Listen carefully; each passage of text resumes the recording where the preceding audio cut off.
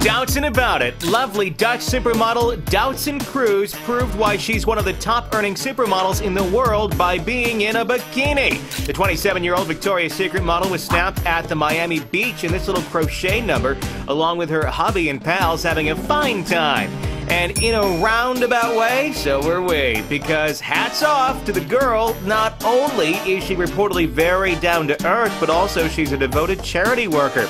She's openly talked about the amount of hard work she puts into keeping her body